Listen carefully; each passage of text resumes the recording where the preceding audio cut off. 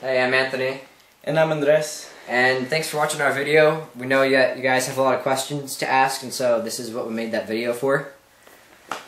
So to start off, the magnets. The magnets are called neodymium and ceramic. Yeah, well, starting with the neodymium, this is uh, a half inch long on each dimension. They're cubes.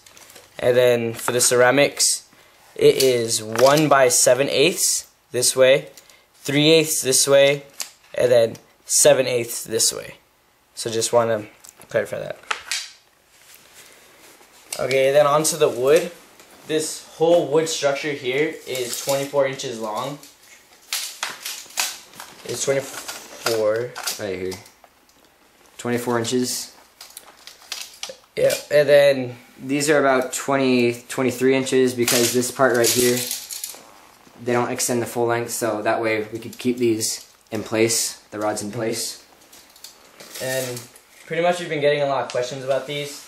They're they're just rods. There's nothing real special to them. They're just wooden rods. We just put a lot of graphite on them. Yeah, that's why they appear like to be silver a little bit, just because we've graphited it a lot.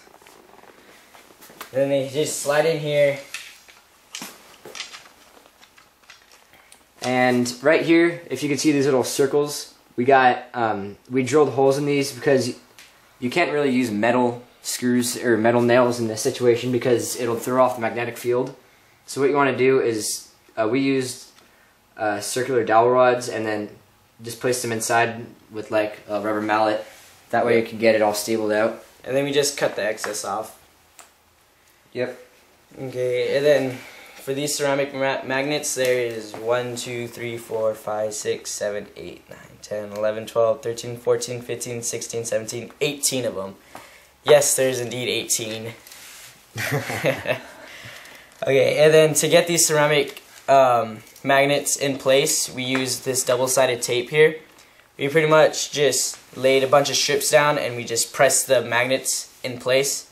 So then they just stayed.